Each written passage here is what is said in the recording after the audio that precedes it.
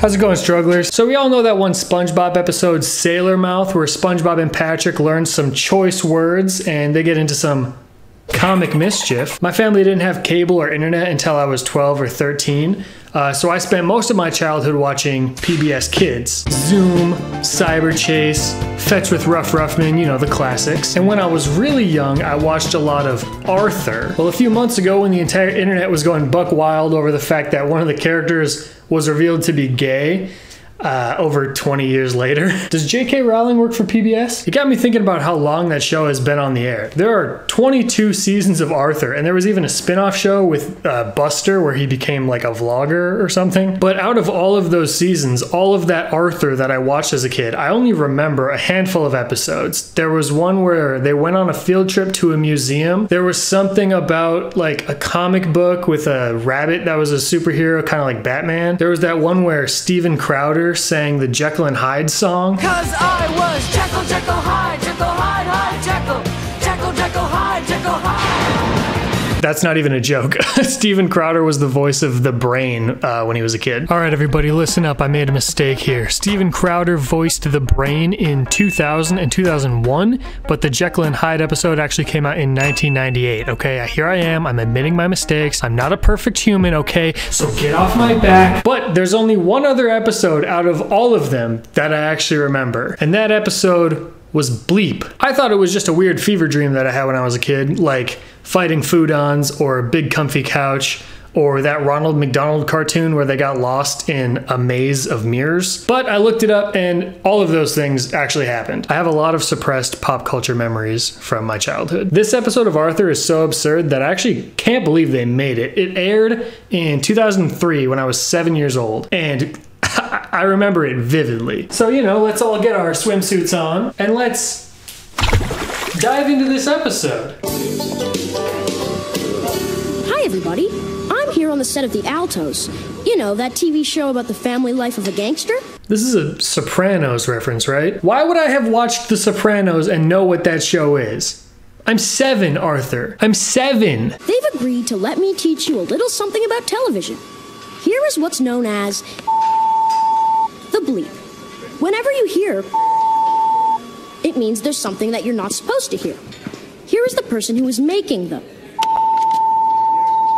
Okay, in pretty much every video I make, there's at least one thing that everyone points out that I got blatantly wrong, and it makes me look like an idiot who doesn't know anything. There's this video where her and her dad dress up like Mortal Kombat characters and they're fighting. It was probably a photoshopped image that they just, you know, changed the image then. There was that one where Steven Crowder sang the Jekyll and Hyde song. This might be one of those situations right here because I'm not gonna bother looking this up, but there's not just a guy on set bleeping things out in real time, right? They do that in post afterwards. Obviously, right? Because when I was a kid, this episode of Arthur made me believe that there was somebody sitting there bleeping out the swear words as the actors said them. So either I was just a dumb little kid, or that actually was a job, and I'm a dumb little adult. We may never know. So they do a little Sopranos parody sketch thing to give kids some insight as to how and when the bleep is used on TV. So let's watch some of that.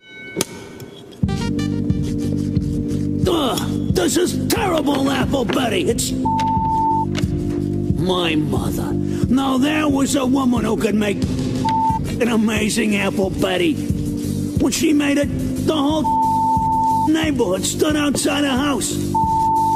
Saint that woman was. If it's okay with you, T, uh, I'd like to give that pastry chef a taste of his own cannoli. Cannolis are phallic. Is he saying he wants to cut off the baker's wiener and feed it to him? Gosh, they just don't make children's programming like they used to, huh? None of you so much as unless I say so. Capiche? I vividly remember watching this episode in the living room as a seven year old, and my mom was in the kitchen, like, Scott, what the f are you watching in there? There better not be any fing swearing on that TV show. No, I'm kidding. She was very confused though, and rightly so. You probably wouldn't expect PBS kids to be slinging around so many naughty words. Still better than letting your kids watch Jake Paul though, so. Okay, so now that we've been introduced to what swear words are, the actual episode starts. DW and her grandma are in a bowls and plates store. I I don't know, it's boring grandma stuff. When some bratty teen comes in with his mom, you know how teens are, always being disrespectful and talking back to their parents. God, teens suck, am I right? Stop that! You'll break something. Whatever. That's enough backtalk, young man. You can forget about going to that concert tonight. What? You can't do that. I can, and I have.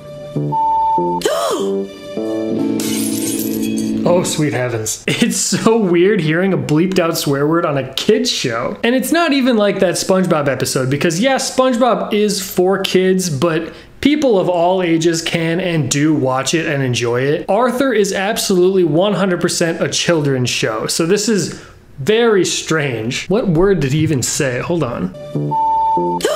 I think he called his mom a beach, probably. I don't know though, it kind of looks like a two syllable word. Maybe, I don't what word looks like this? I don't know, we'll figure it out eventually. By the time this video is over, we will have uncovered what the mystery word is, I promise you. Anyway, DW assumes that this word has some sort of magic power because it made that mom drop her vase, and she doesn't want to say it to her grandma and ask her what it means because the grandma might drop her bowl. God, that store is so boring. So she decides to ask her brother Arthur what it means instead. Arthur, I have to ask you something. What does mean?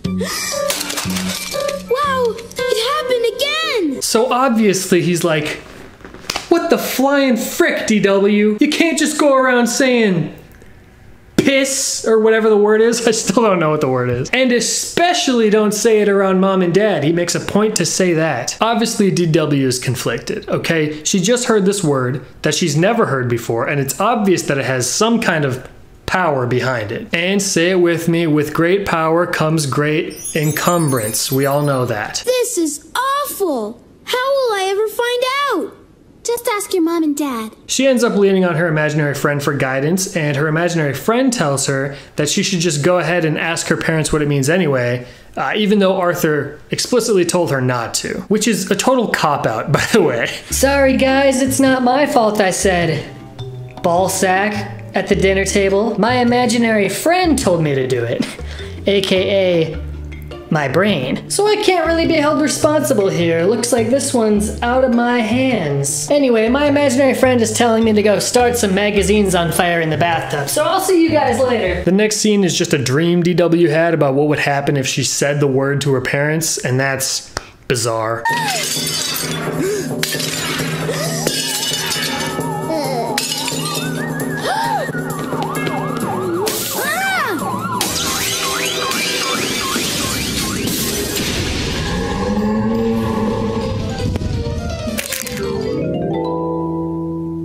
But then she goes to school the next day and brings the word up to some of the kids there. Um, more specifically, she brings it up to these two horrifying nightmare children. Guess she doesn't watch cable TV. Wow! So I can just say it? Just like that? no, don't! But you just said different when there's grown ups around. Oh, F off. You guys were literally rolling on the ground, shouting it like four seconds ago. You think this lady who's standing 15 feet away couldn't hear you yelling, ass hat? That can't be the word. Anyway, the demon twins tell DW that the reason she can't say it in front of adults is because it will turn them into zombie slaves. Uh, so, of course, she has a nice little fantasy about that.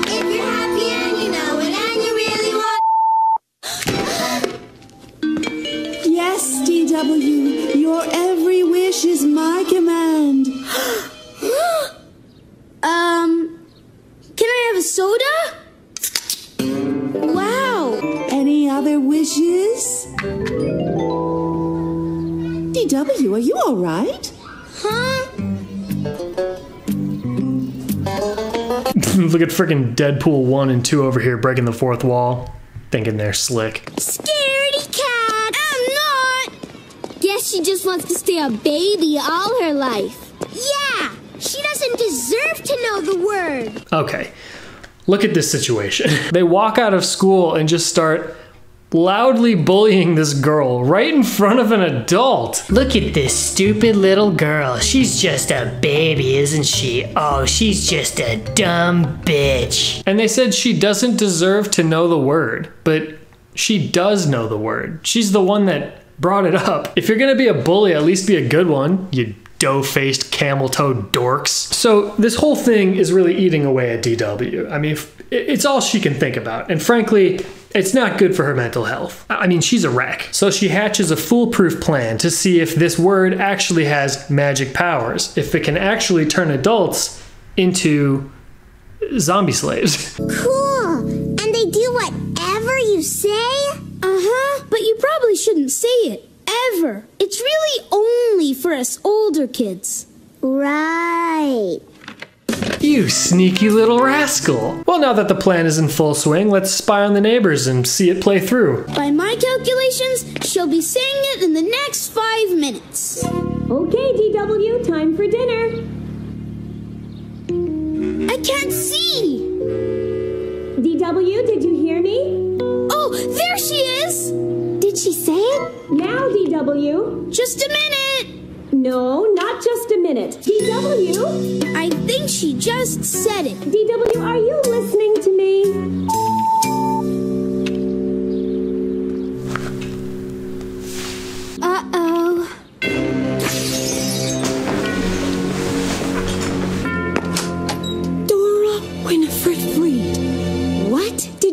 Say to me? I half expected the mom's face to just pop into frame here and be like, What the f did you just say to me? The first time I saw this when I was seven, my heart freaking sank into my stomach. I was terrified for DW. Honestly, watching it now, I was still terrified for her. Well, either way, the fear is short lived because the neighbors come over and they rat her out, but her mom basically lets her off the hook. Well, you're off the hook this time because you didn't know what you were saying.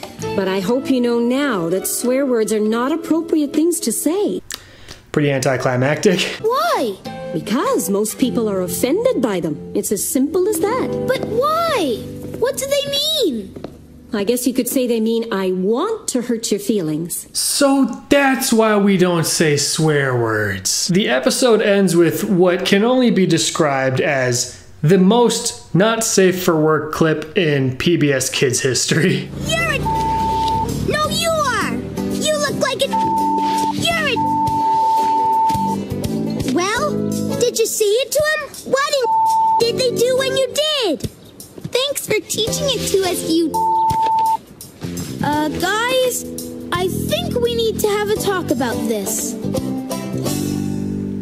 Okay. I feel like we learned a lot today. We learned that saying swear words is bad. Um, we learned that this guy is the one who bleeps them out on TV. And we learned that you can't trust these slimy little, good for nothing rat boys. But I still don't know one thing. I still don't know what the word was. What were they bleeping out this whole time? What were they really saying? We need to examine every time it was said. What was the context? How was the word used? what could it be? I can and I have.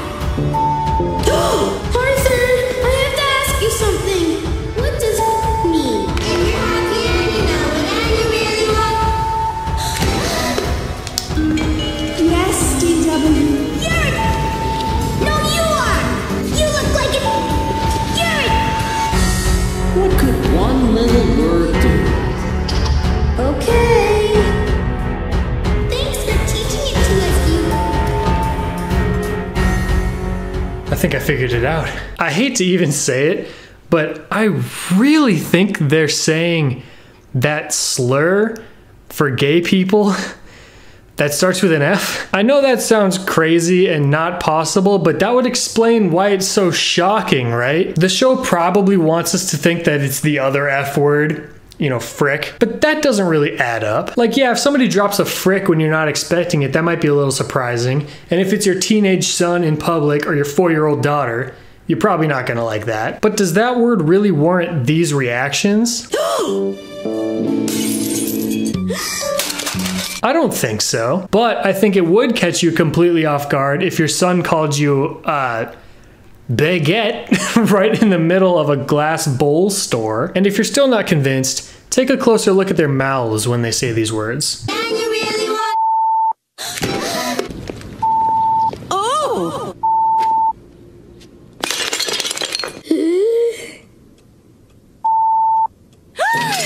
That is not a frick, and it's not a piss, and it sure as heck isn't a damn. I think PBS really went there. I think they had a bunch of cartoon human animal hybrids drop a slur on public television. Don't think you can just turn around and make Mr. Ratburn gay and all will be forgiven, okay? PBS is canceled. Did I just expose Arthur? Speaking of canceled, I'm gonna cancel my trip to the sock store because I got some sent right to my front door, baby.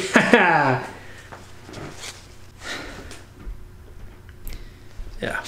One of my old buddies from high school uh, owns a company now that sells socks, and I mean, come on, look at look at some of these. This one, you got the sloth. I mean, come on, how cute is that? These little Fiesta llamas. I mean, that, that's good for any occasion. And then this one's actually not released yet, but it's one of my favorites. It's a kraken.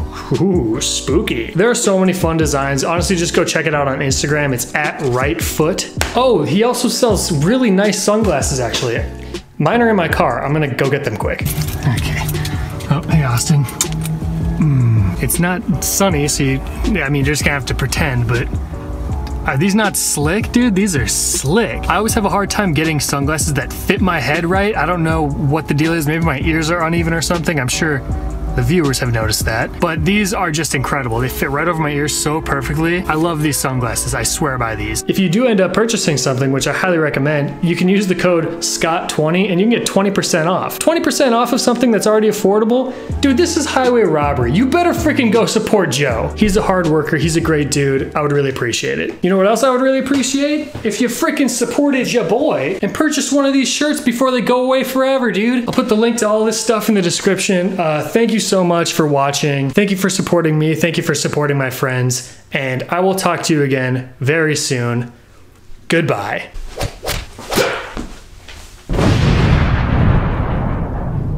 It's been a minute since I called you drunk. It's been a minute since we fucked things up. It's been a minute since I called you mine. It's been a hell of a time. It's been a minute since I caused you stress. It's been a minute since we've been up